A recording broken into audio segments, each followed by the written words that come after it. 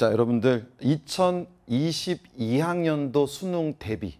그러니까 지금 올해 2020년 현재 고1, 2 학생들이 들어야 되는 어, 여러분들 영상입니다. 그러니까 지금 고3 학생들은 뭐 자기가 입시 컨설턴트로 전향하지 않는 이상은 이 강좌를 듣지 않으셔도 돼요. 그러니까 지금 2020년 10월 21일 현재 고2, 고1 학생들이 들으시면 좋겠습니다. 무엇을 말하려고 하냐면요. 이제 2022 수능부터 엄청난 변화가 생겨요. 뭐냐? 자연계열 지망하는 학생들도 그러니까 내가 이제 화학공학과, 뭐 건축학과 갈 거야. 근데 옛날엔 무조건 과탐해야 됐잖아요. 근데 상당히 많은 대학에서 그러니까 수도권 소재의 서울 소재의 주요 대학 15개 정도를 뺀다면 나머지 대학들에 있어서는 뭐 몇몇 대학의 일부 학과를 제외하면은 우리 여러분들이 자연계열 이 지원을 하는 친구들도 이 사회탐구를 선택할 수가 있습니다. 그러면 사회탐구를 왜 선택해야 되는지 그리고 선생님이 과목이 이제 지리다 보니까 왜 지리를 지리가 꿀인지 꿀이라는 건 뭐죠? 쪽쪽 빨아야 되는 거잖아요. 그러니까 여러분들이 좋은 게 있는데도 모르는 경우가 많아요. 그러니까 선생님이 여러분들 앞에서 뭐 진짜 뭐 논리도 없이 또는 뭐 팩트도 없이 여러분들한테 뭐 약을 판다 이런 건 전혀 아니고요. 여러분들 충분히 근거를 가지고 설명할 테니까 한번 잘 들어보시기 바랍니다. 오케이? 그러니까 자기가 내년에 이제 탐구를 한다. 그럴 때 이제 지금 뭐 예를 들어서 이제 그 문과 계열로 갈 학생들 또는 자연계를 지망하지만은 이제 좀 문과 사탐 선택이 가능한 대학으로 가고자 하는 친구들은 꼭 한번 들어보시기 바랍니다. 자, 들어가겠습니다. 일단 여러분들이 또 쌤을 처음 보면은 어, 동네 아저씨 같다 그래가지고 쫙 간략하게만 소개를 하겠습니다. 선생님은 메가스타디에서 2005년 말에 입사를 해서 뭐 그건 사실은 뭐 입사라는 과정은 없습니다. 저희들은 뭐 강사니까 회사와 계약을 맺고 지금까지 메가를 떠난 적이 없는 강사예요. 뭐 서울대학교 지리교육과를 조기 졸업했습니다. 7학기 만에 졸업을 했고요. 뭐 지리 쪽에서는 뭐 가장 오래 현장 강의를 해온 강사라고 보시면 되고 교사 생활도 했었고요. 또 EBS 1기 강사이기도 했었고 2003년부터 대치동 수업 그리고 2008년부터 뭐 이게 뭐 국가가 뭐 인정하는 건 아니지만 그래도 우리나라에서 가장 유명한 일간신문이라고 하는 조중동 중에서 중앙일보 선정 이제 한지 세지 그때부터 1위 강사로 뭐 이름은 올라와 있습니다. 오케이 좋습니다. 그리고 쌤이 너무 요즘에 뿌듯한 뿌듯한 건 뭐냐면 나무 위키 알잖아요. 위키에 쳐보면 지리 덕후라는 페이지가 있어요. 거기 들어갔더니 지리 덕후로 생존 거기 나와 실존 인물이 다섯 여섯 명밖에 안 되더라고요. 그 중에 한 분이 고산자 개동여 지도를 만든 김종호 선생님인데 그분 밑에 제가 있었어요. 그 제가 너무 뿌듯했어요. 야, 내가 고산자 김종호 선생님과 어? 이름을 같이 나열할 수 있다니. 그래가지고 참 기분이 좋았습니다. 그리고 이제 지금 메가가 여러분도 알지만 엄청난 정말 메가톤급 메가패스를 오늘 10월 21일부터 판매를 시작했는데 거기도 딱 들어가 보시면 선생님 딱 뭐라고 뜨냐면 사회탐구 11년 연속 1위. 111. 그 좋습니다. 오케이? 음. 하여튼 뿌듯합니다, 여러분들. 그래서 여러분들이 어, 선생님이 또 첫 인상이라든가 느낌이 어떨지 모르겠지만은 조금 뭐 저 사람 좀 불안해 보인다. 어, 너무 걱정 안 하셔도 됩니다. 11년 연속 1위 했다는 건 그만큼 검증을 많이 거친 거니까 여러분들이 아마 가지고 있는 생각이 수업을 들으시면 아마 말끔히 해소가 될 거예요. 아무 걱정하지 마시기 바랍니다. 좋습니다. 자, 들어가 보죠. 자, 그럼 이제 요 얘기를 먼저 할게요. 자, 탐구를 지정한 학교는 어디예요? 자, 이제 우리 문과 학생들, 우리가 내가 예를 들면 문과 계열의 인문 계열에 지원을 하는 학생들은 여기 써 있지만 인문 계열은 우리나라의 모든 대학이 탐구 과목을 지정하지 않았습니다. 오케이? 그 얘기는 뭐냐? 사탐을 봐도 되고 과탐을 봐도 돼요. 다만 안 보면 안 되는 거죠. 오케이? 어. 그- 근데 이제 재밌는 사실은 누가 과탐을 하겠어요. 이게 과탐을 비하하는 게 아니고 선생님 개인적으로는 과탐을 필수로 해야 된다고 보는 사람이긴 하지만 현실적으로 선택을 하라고 했을 때 과탐으로는 눈을 주기가 어렵습니다. 뭐 선생님이 아까 학원에 와서도 이 과탐 스님들 교재하고 사탐 스님 교재를 봤지만은 사탐 스님 교재는 부록 수준이야 거의. 과탐 선생님 교재는 이만해. 베개야 베개. 베개. 알겠지. 분량이 너무 많아요.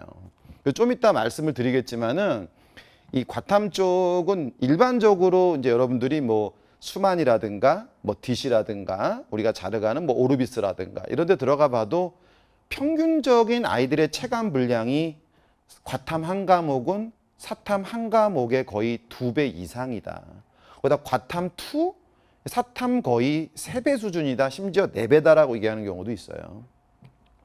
그러니까 사실은 선생님이 왜 이런 얘기를 하냐면 많은 학생들이 국영수 공부를 할 시간도 부족하다라고 말을 한단 말이야. 오케이? 그러면 탐구는 탐구 과목은 짬날 때 하려고 한단 말이야. 그러면 탐구 선택에서 가장 중요한 게 뭔지 아세요? 결국 현실적으로 누가 양이 적은가예요. 근데 이제 그것만은 아닌데 하여튼 1차적으로는 양이 누가 적은가가 되게 중요하단 말이야. 그러면 양이 적은 데서 사탐의 두세 배라고 불리는 과탐을 인문 계열을 지망하는 예비 대학생 애들이 택할 가능성은 적다. 근데 이번에 이제 천지 개벽하는 사건이 뭐냐면 자연 계열의 경우도 자연 계열의 경우도 이렇게 서울 소재 우리가 소위 말하는 서연고, 서성안이, 중경외시, 건동홍수 이 주요 대학들은 당연히 이제 자연 계열 지원 시 그러니까 자연 계열 지원- 지원 시 과학을 택하게 해놨어. 이전처럼. 그러나 이 주요 대학 중에서도 일부 과가 특히 한국 외대는 과도 아니야. 전체가 다 사회과학 구분 없이 택이야. 거기다가 또 중요한 건 뭐냐면 이런 대학 있잖아. 비록 서연고 뭐 그쪽 대학은 아니지만 그 이외의 대부분의 대학들에 있어서는 일부 학과를 제외하면 구분 없이 택할 수 있게 된 거죠. 그럼 결론적으로 뭐냐? 여러분 생각에 어? 그렇다면 과탐, 사탐 중에 사탐 선택자 수가 엄청나게 늘어나겠네요. 그럼요. 여러분, 그건 길 가는 어린아이도 생각할 수 있는 내용입니다. 자, 그럼 여러분들 이제 궁금한 게 있을까? 물론 이제 자세히 읽어보시면 아시겠지만 과탐 선택 시 가산점을 주는 경우는 있어. 근데 일부야, 일부. 그러니까 여러분 머릿속에는 아, 주요 대학을 제외한 자연계 자연계 대학들에 있어서는 사탐, 과탐 둘다둘 중에 아무거나 선택이 가능하다. 근데 그렇게 되면 반드시 이제 사탐 쪽으로 간단 말이죠. 자, 그러면 이제 어, 사탐, 과탐을 얼마나 택하고 이제 한번 또 보겠습니다. 일단 보시면 사회탐구 응시자 수가 현재 이게 지금 이제 9월 목표 응시자 수 기준이에요. 바로 한 달 전에 사탐이 26만 명, 과탐이 21만 명. 근데 뭐 내년 이제 여러분들 2022년 수능 대비 이제 평가원 이제 조사가 나오겠지만 뭐 볼 것도 없이 과탐 응시자 수는 아마 뭐 굉장히 떨어지게 여러분 말로 이걸 뭐 떡락이라 그러나요? 그런 말은 안 쓰나요? 자, 아무튼 많이 내려갈 거고 어, 사탐은 떡상 뭐 이렇게 될 거예요.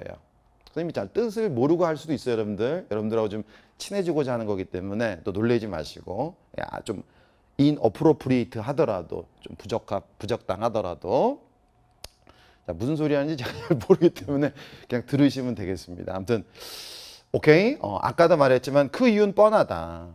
국영수 할 시간이 없다고 선생님이 20여 년 동안 했지만 애들이 맨날 하는 말이 선생님 저 시간이 진짜 없어요. 선생님 저 시간이 없어요. 탐구할 시간은 없다, 없다가 기본이란 말이야. 그런 상황 속에서 과탐을 택할 가능성은 굉장히 적어집니다. 참고로 참고로 선생님이 이제 아무래도 이제 이 인문 계열 쪽에 사회탐구 선생님이니까 이 사회탐구 과목을 잠깐 보시면 선택자 수 1위는 생윤. 오, 14만 명. 사문이 14만 명. 큰 차이 안 나죠? 한지가 6만, 세지가 4만. 그러니까 선생님이 택하고 있는 이 지리 과목이 그래도 9개 과목 중에서는 3, 4위를 하고 있어요. 그러니까 윤사가 3만, 동사가 또 약 3만, 법정도 약 3만, 세계사가 2만, 경제는 거의 6천 정도 수준으로서 굉장히 마이너한 과목이 된 것 같아요. 그래서 미리 말씀을 드리면 좀 이따 말, 말씀을 드리겠지만 이 사회탐구 과목의 유불리를 좀 이따 얘기하겠는데 경제는 두 가지 이유 때문에 어, 자기가 만약에 성적이 중하위권이다. 그럼 택하지 않는 게 좋아. 왜?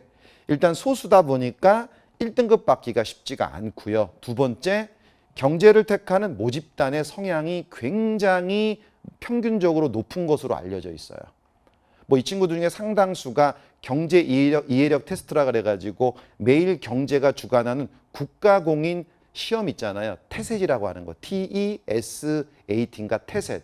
그 시험도 또 응시하거든. 그래서 선생님 생각에는 자기가 중하위권이다. 요 정도라면 경제 과목은 조금 생각을 해보셔야 돼. 자기가 타고난 나는 학교에 워렌 버핏이라는 별명을 갖고 있지 않은 이상은 오케이? 요거는 조금 피하는 게 좋겠다. 이런 말씀을 드립니다. 자, 그럼 이제 여러분이 제일 궁금한 게 있을 거예요. 선생님, 선생님 근데 사탐 그러면 뭘 해야 돼요? 결국 요거죠. 결국 오늘 오늘의 가장 핵심은 사탐 뭘 해야 돼요예요. 자, 들어가 볼게요. 바로.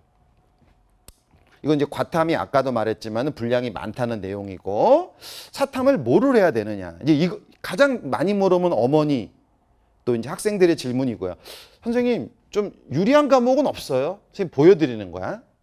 지금 지난 3년 동안 세 번의 수능 동안에 만점을 받았을 때 50점 만점 받았을 때 원점수로 거기에 표준 점수와 100분이야. 왜냐하면 지금 서울대 중심으로 변환 표준 아니라 표준 점수 쓴대요. 표준 점수는 수능 시험 보면은 시험지에 적혀 있어요. 변환 표준 점수는 각 대학에서 이제 가공하는 점수지만 근데 중요한 건 서울대가 변환 표준 점수가 아니라 이제부터는 시험지에 적혀 있는 표준 점수를 쓰겠다. 그러면 서연고라든가 서울 주요 대학들도 아마 표준 점수를 쓸 가능성이 높습니다. 그러니까 대부분의 대학이 표점 또는 이제 뭐 백분위 또는 뭐 등급 이런 걸 쓰고 있거든요. 근데 이런 게 조금 이제 주요 대학에서 중요하니까 그걸 중심으로 제시를 한 거야.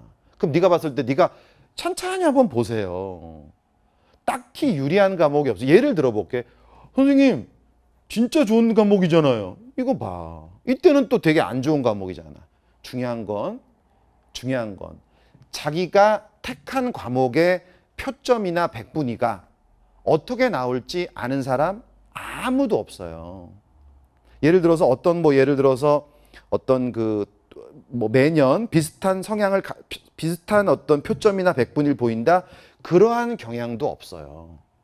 근데 그걸 말하는 거예요. 여러분 솔직히 저 자식 한지와 세지가 표점이나 백분위가 유리하다고 하려고 하는 거 아니야? 아니잖아요. 아니잖아요. 좋아, 좋았던 적도 있지만, 그쵸? 좀안 좋았던 적도 있고, 또 안 좋아한 적도 있지만, 어디 가서 질이, 또 이제 안 좋아한 적도 있지만, 또 좋은 적, 좋은 적, 좋은 적도 있고, 표점 높은 적도 있지만, 또 낮은 적도 있고 말이야. 다 비슷해. 그러니까 여러분들이 절대로 어떤 과목이 표점이나 백분위에서 유리하냐, 불리하냐로 탐구를 택하진 마세요. 단, 딱 하나 아까 말했지만 요 경제 과목은 상위권, 모집단이 굉장히 상위권이기 때문에 아까도 말했지만 자기가 자기 집, 자기 학교에서 워렌 버핏이라든가 아니면 조지 소로스라고 불리지 않는 이상은 택하지 않는 것이 좋습니다. 그럼 뭘로 택하느냐? 바로 요거죠. 자기의 지금 상황, 쉽게 말하면 국영수가 돼 있는 상황이냐, 잘 안 돼 있는 상황이냐. 두 번째, 자기의 성향, 요걸로 결정을 해야 되는 거야. 거기다가 이제 하나 더 얘기한다면 학교에서 내신으로 지정한 과목 중에서죠. 이제 마음 같아서는 학교에서 안 하는 과목을 기분으로 막 세술은 세부대에 담아야 돼. 그래가지고 어떤 친구들은 학교에서 미는 과목이 있는데 자기가 따로 학교에서 안 하는 과목을 하기도 해. 너무 힘들어요. 그러니까 되도록이면 내신 비중이 여전히 높잖아요. 그러니까 정시 비중을 높이고는 있지만 여전히 뭐랄까 여러분도 알지만 그 수시 비중이 훨씬 높단 말이야. 이런 상황에서는 그지 교과 과정 점수를 잘 받아야 되기 때문에 학교에서 내신으로 지정한 과목 중에 자기 상황과 성향을 보고 판단하시면 된다. 다만 경제는 조금 생각을 해야 되겠다. 자기가 중하위권이라면은 이것은 안 하는 게 좋겠다. 이렇게 이제 정리를 해드릴 수가 있습니다. 자, 그럼 이제 다음으로 넘어가죠. 그러면 이제 여러분들이 어 나의 성향과 나의 이제 성향, 나의 상황을 잘 보란 말이야. 예를 들어 이런 거야. 아, 난 지금 솔직히 말하면 거의 국영수가 1에서 9등급까지 있다. 아, 나 거의 5, 6등급이고, 아, 국영수를 빨리 3등급 이상 올려야 되고, 시간은 없고, 이러면 어쩔 수 없이 생윤삼은 하셔야 돼요. 이건 선생님이 막을 수도 없어. 본능적이야. 왜? 생윤사문은 아까 선생님도 어, 몇몇 그 제자들하고 통화를 했지만 체감적인 분량에 대해서 물어봤어요. 근데 이 체감적인 분량이 중요한 그러니까 그냥 절대적인 분량 말고 그 과목에서 1등급을 받기 위해 공부할 공부해야 할 학습량 그게 이제 체감 분량으로 봤을 때는 거의 예외 없이 이게 제일 많다고 하더라고요. 이게 제일 많다고 보고 또 예외 없이 이게 제일 적다고 봐요. 이게 제일 적다고 봐요. 그러니까는 자기가 국영수가 밀린다. 그러면 이거는 이걸 할 수밖에 없어. 그럼 그리고 대부분 대학들이 대부분 고등학교에서 얘네들을 지금 가장 많이 선택하기 때문에 얘네들은 거의 내신에서도 깔아주고 있는 편입니다. 오케이? 음, 근데 선생님이 지금 설명하면서도 조금 좀 불안한 게 뭐냐면 내가 막 중심으로 몰아야 되는데 그쵸? 음, 몰아갈 겁니다. 걱정하지 마시고. 자, 아무튼 분량은 요걸 꼭 기억을 해 두시고 이 세계사 같은 경우는 대부분 학생들이 말하는 게 이게 무슨 뜻인지 모르시죠. 단순함기가 뭐냐. 이 한지와 세지는 이제 몰아갑니다. 한지와 세지는 이것도 암기할 게 있어. 근데 그 암기, 암기가 암기 내용이 뿌리 암기야. 그래서 뿌리 암기를 통해서 되게 많은 거를 풀 수 있어. 예를 들어서 제주도는 현무암이 대부분이에요. 그러면 현무암이란 돌은 이게 전리, 즉 금이 많이 가 있는 돌이에요. 전리라는 게 암석의 크랙이야. 쉽게 말하면 금이 가 있어. 그러면 이것만 기억하면 돼. 그러면 물이 잘 빠지겠네? 밭농사. 하천은 늘 물이 말라 있겠네? 건천. 지표수 부족하겠네? 하천 물이 없으니까 지표수 부족하겠네? 지하수는 많겠네. 이런 것들을 다 뽑아낼 수가 있거든요. 근데 세계사 같은 경우는 뭐냐면 예를 들면 그냥 단순 암기 예를 들면 뭐, 뭐 밀라노 칙령이 몇 년, 몇 년에 또는 뭐 이제 뭐, 고, 어, 뭐야, 로마의 황제들 뭐 옥타비아누스, 아우구스티누스, 아우구스투스 이런 건 응용이, 응용되는 지식이 아니라 그냥 생으로 계속 넣어야만 되는 지식이잖아. 차이점이 좀 있어요. 그 사실은 체감적 난이도에서는 이 단순 암기가 많은 이, 이, 이 역사 쪽 과목은 조금 많다. 다만 밑에 써놨지만 동아시아사는 최근에 아, 베트남사가 빠지면서 학생들 말로는 체감 분량이 한 30%는 줄었다라는 얘기를 하더라고요. 근데 뭐 자기가 또 역사란 과목이 또 장점이 뭐냐면 우리가 어릴 때부터 가장 많이 접한 어떤 인문적 지식이 역사적인 내용이죠. 중학교 때부터도 국사나 세계사를 또 해왔고 그러니까 사실은 양은 많지만 낯설은 측면에서는 조금 적다라고 보여질 수는 있습니다. 그러니까 자기가 자기 성향을 잘 알잖아. 오케이? 음, 다시 말하지만 자기의 상황과 성향을 봤을 때 상황이 매우 좋지 못하다. 이건 거의 왔다 빡 수준이란 말이야. 왔다 빡 수준이면은 요거를 갈 수밖에 없다. 내신도 당연히 유리하겠고 선택자가 많으니까. 예를 들어서 선택자가 굉장히 적은 굉장히 적은 예를 들면 뭐 세계사라든가 경제 과목 같은 경우는 뭐 한 학교에 뭐 선택자가 10명이다. 또는 20명이다. 그러면 1등을 해야만 내신 1등급이 나오는 거잖아. 전체의 4%를 1, 등급을 주기 때문에. 그렇죠? 그러니까 그런 것들을 또 생각해야 돼. 그러니까 내, 여러분이 택할 때 아, 내가 좋아하는 하지만 좋아하는 거하고 또 잘하는 건 다르다 그러잖아. 내가 축구 좋아한다고 축구를 메시처럼 하는 건 아니잖아. 좋아하는 건 잘하는 건 다르니까 현실에 있어서 고3은 현실적이어야 되잖아. 냉정하게 판단을 하셔야 돼요. 역사는 좋아하지만 너가 시험 보면 3, 4등급이라면 그렇죠? 이런 소수 과목에서 세계사를 택하기는 조금 조금 어, 위험 리스크가 좀 크다. 그렇게 말씀드릴 수가 있습니다. 자 그러면 일단 체감적 분량은 이렇다라는 걸 알아두시고요. 자 그러면 각각의 과목의 특징을 좀 알려드릴게요. 일단 윤사 공통적으로 수험생들이 말하는 것은 말장난이 많아. 그러니까 관념적 내용이죠. 구체적이 아니라 관념적 내용들이 많기 때문에 말장난이 많아. 다만 철학적 내용이 많아서 논술이나 이제 쉽게 말하면 국어, 국어에서 비문학 부분이나 이런 데서는 굉장히 도움을 좀 받을 수 있다라는 건 있어요. 뭔가 좀 어깨에 좀 힘 좀 들어가지고 내가 아텐 토, 아리스토텔레스 얘기하고 요즘에 말하는 테스형, 테스형, 테스형에 대해서 열심히 알 수가 있어요. 플라톤, 오케이, 뭐, 뭐 헤겔, 칸트, 그죠? 읽어도 읽어도 무슨 말인지 모르는 그 칸트의 얘기. 보편적 입법의 원리로 타당한지를 따져봐라 뭐 이런 얘기들. 생윤이 조금 이제 드릴 말씀이 있어요. 뭐냐면 말장난도 많고 이 과목 중에서 사실은 론칭한 지가 가장 얼마 안 돼. 그러니까 new야, new. 신설 과목이야. 그래서 아직도 출제의 경향이 자리를 잡고 있지 않아. 그러니까, 그러니까 모든 문제가 기출문제 풀었을 때 어떻게 나올 거라는 걸 예측하는데 얘는 아직 그러한 패턴이 자리 잡질 않아서 매년 출제 경향의 어떤 그 뭐를 스펙트럼이 좀 크다 그러더라고요. 그러니까 예측하기 좀 어려운 거죠. 어떻게 나올지가. 그리고 내용이 되게 가벼워요. 이게 말 그대로 생활윤리니까 뭐 환경윤리 뭐 이런 거잖아. 환경윤리니까 뭐 더럽히지 말자 뭐 별 내용은 없어. 그러다 보니까 어때요? 꼬고 꼴 수밖에 없고 여기 밑에 써놨지만은 적은 내용으로 출제를 하다 보니 당연히 어디서 어려움을 구하려 하겠습니까? 그렇죠. 내용의 형식에서 어려움을 구하는 거야. 알겠지? 어, 굉장히 그리고 어, 선지 이런 것들도 까다롭게 내고. 그러니까 이게 쉽게 말하면 앞에서 웃고 뒤에서 우는 과목이라고 말할 수 있죠.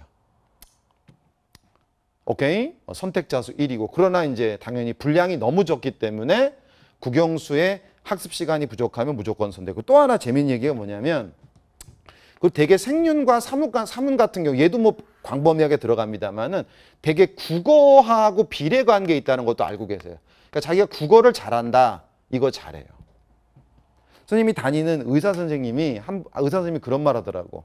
딸이 해외 유학 갔다가 왔는데 영어나 수학은 따라가는데 국어하고 사탐을 따라가지 못한다. 왜 그래? 왜 그랬냐? 외국에 오래 살다 오다 보니까 국어가 어렵죠.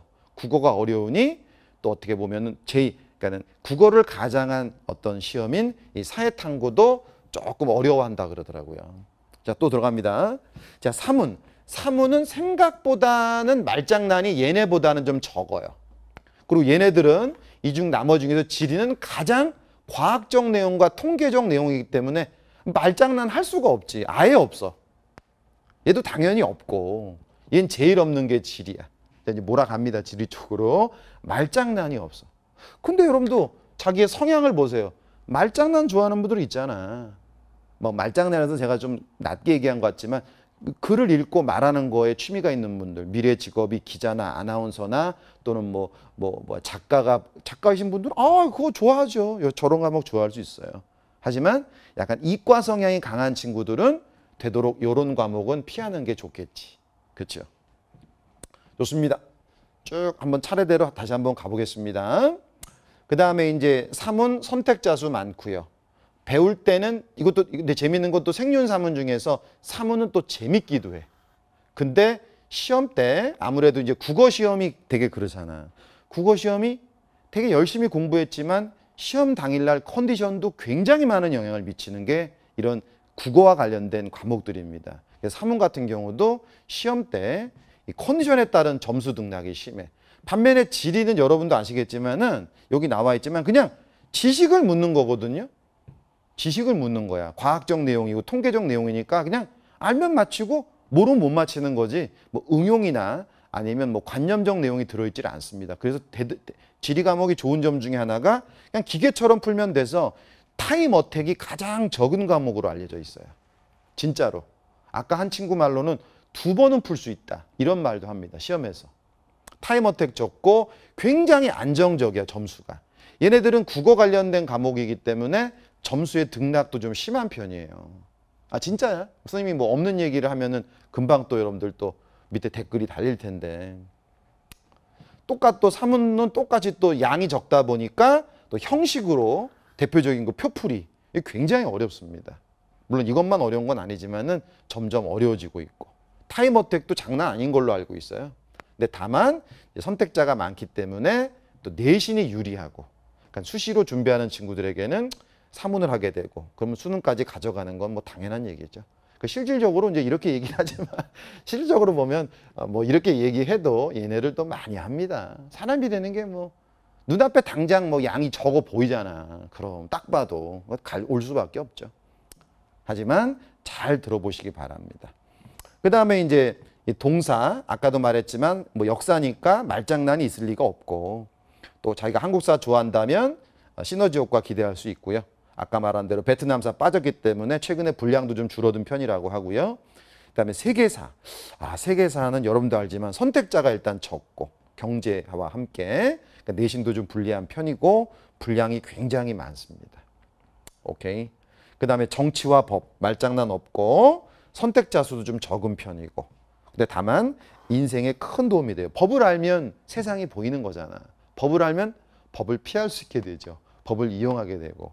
그다음에 경제 역시 말장난 없지만 어, 내신 또 불리한 편이고 그러나 인생에 큰 도움이 되죠. 우리가 어차피 경제의 동물 아닙니까? 그렇지.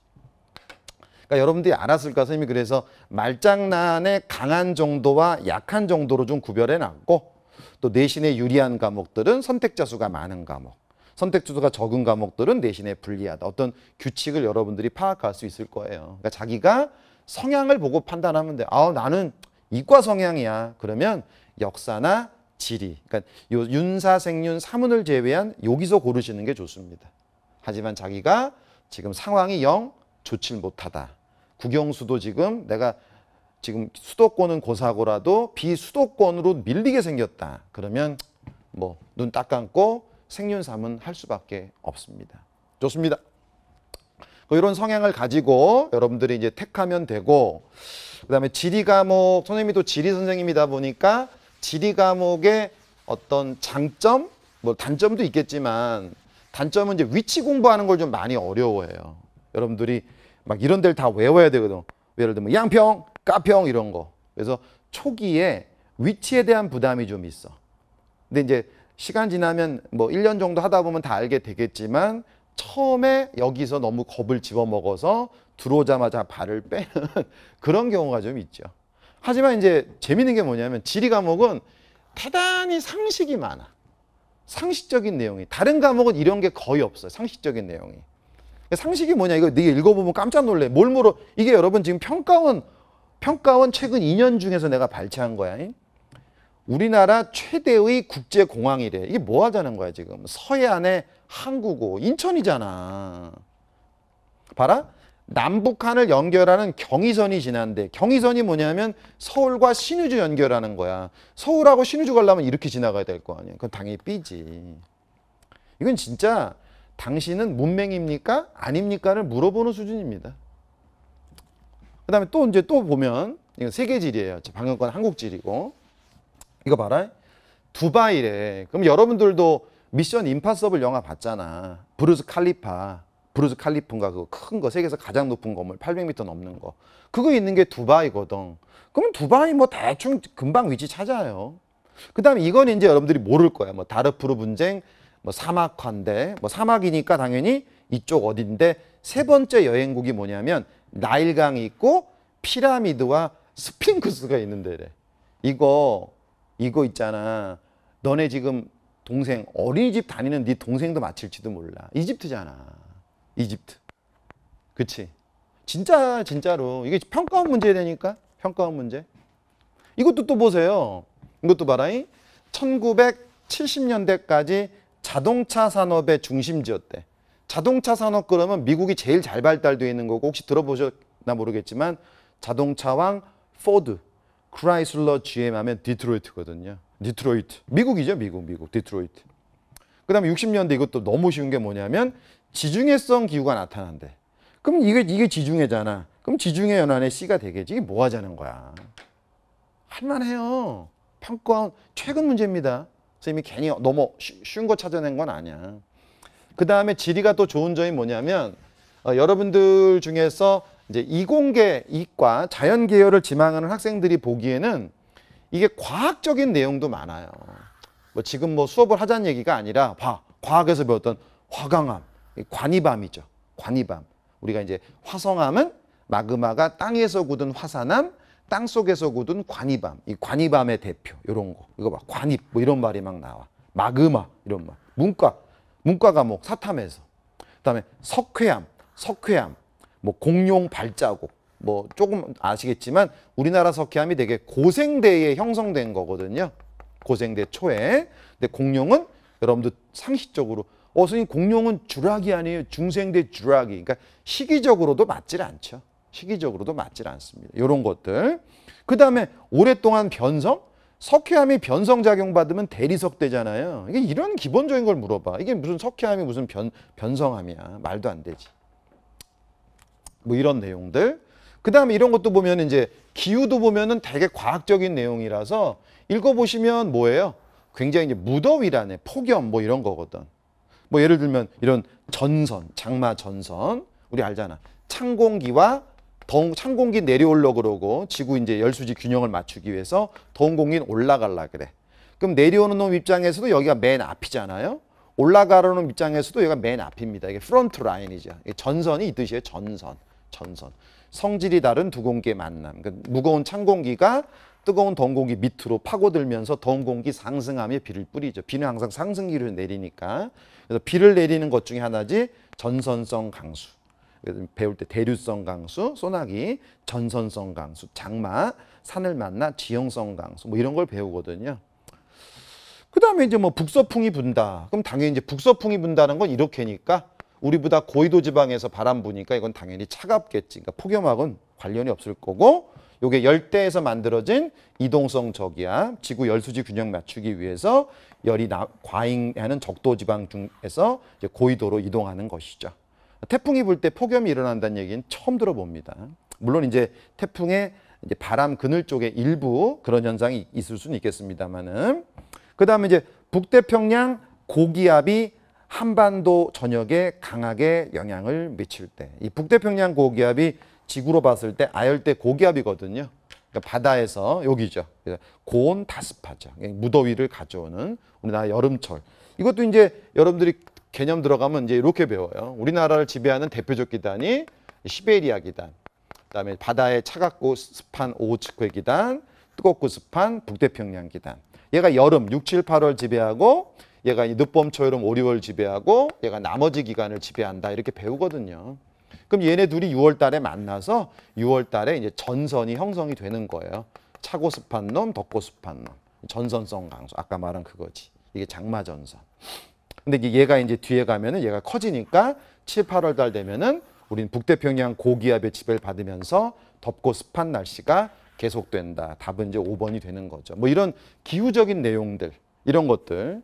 그다음 이것도 여러분도 지구과학 같이 하는 친구들에게 세계 지리나 한국 지리는 굉장히 겹치는 내용이 많아요.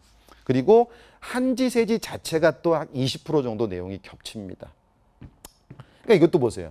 A는 새로운 지각이 형성된다. 새로운 지각이 형성되는 곳은 지각판이 갈라져. 그럼 우리가 상처가 났을 때 그 사이를 새살이 메꾸듯이 이것은 판이 발산되는 경계에서 주로 일어나는 거거든. 뭐 아이슬란드라든가 해령이 해령이 있는 곳이죠. 또는 이제 대륙판이 찢어지는 동아프리카 지구대라든가 이런 데서 볼 수 있기 때문에 우리가 잘 아는 충돌에서 만들어지는 환태 알- 알프스 히말라야 데 같은 경우는 볼 수가 없죠. 오케이? 음, 뭐 이런 것들 뭔가 우리가 다 뭐 과학에서 배웠던 뭐 조산운동, 뭐 시원생대, 두 판이 분리되는 이건 뭐 여러분 뭐 배우셨나 모르겠지만 고생대 때 만들어진 산지입니다. 고기스콕 산지인 에팔레치아니까 판의 발산 경계는 아니죠. 이미 판의 경계에서 멀어졌단 말이야. 오케이? 음, 요건 이제 대표적인 게 이제 해양판과 나스카판하고 남미판이라는 대륙판이 만나서 안데스 산맥이 만들어지는 곳이죠. 답은 이제 5번이 됩니다. 자, 이제 결론을 말씀을 드리는 거야. 자, 그러면 내년에 사탐을 선택하는 학생들이 매우 늘어난다. 거기다가 이제 이공계 자연 계열을 지원하는 학생도 사탐을 택할 수 있는 학생들이 굉장히 많아진다. 그럼 어떻게 해야 되는가? 결론은 이기상이다. 이 얘기를 하려는 건데요. 자, 이거 사랑, 여러분 사랑, 더럽, 더럽, 더럽, 더럽다가 아니라 더럽, 더럽. 이기상과 한국지를 하면 문제는 당연히 없는데 뭐 그런 얘기보다도 자, 이런 학생들 선택이 가능하다면 선택자 수에서도 3, 4위를 한단 말이야. 한지. 아, 문제 없어. 불리함 없어. 내신도 수능도 불리함 없어. 소수 과목도 아니야. 3, 4위야. 거기다 과학적 내용도 많아. 무슨 얘기냐? 점수가 균, 균 매번 비슷하게 나와줘. 국어 실력 딸려도 좋아. 오케이? 또 컨디션에 따른 영향 받질 않아. 타임 어택도 없어. 표풀이 등 형식적 어려움도 적어. 그럼 여러분 생각에 다 좋은 건가요? 아, 아까도 말했지만은 이제 초기에 위치 공부는 조금 부담이 됩니다만은 평균적으로 봤을 땐 굉장히 장점이 많은 과목이다라고 생각이 돼요. 근데 학교에서 내신 중심으로는 너무 좀 암기 중심을 하다 보니까 아이들이 한지 세제에 대해서 뭔가 좀 편견을 갖고 있는 것 같더라고요. 그러니까 여러분들 이제 좀 있으면 12월 달 정도 되면 선생님이 이제 개념 강좌에 앞서서 위치 강좌 열 거야. 한번 들어보시면 지리 선택하기를 너무 잘했다 생각이 들 겁니다. 오케이? 음, 하여튼 강의를 들어보면 여러분들 알게 됩니다. 좋습니다. 들어줘서 감사, 감사드리고 어, 내년에 수업 시간에 뵐 수 있으면 좋겠습니다. 고맙습니다.